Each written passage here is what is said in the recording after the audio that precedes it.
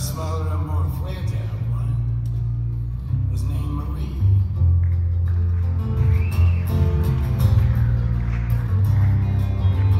Having never seen white girls before, and living on the two legs known as the twin legs, they named the larger and more beautiful lake Lake Elizabeth. And thus, the smaller lake, hidden from the highway, became known forever as the Lake Marie.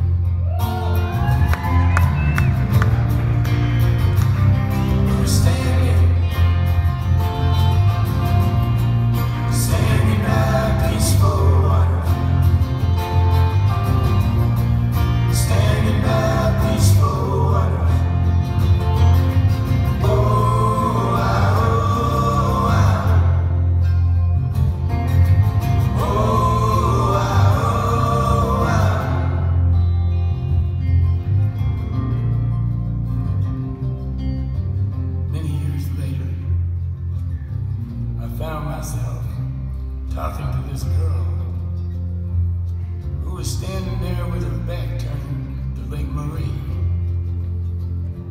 The wind was blowing, especially through her hair.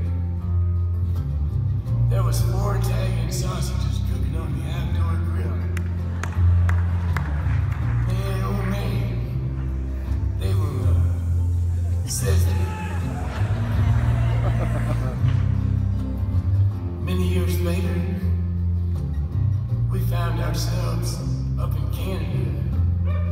Canada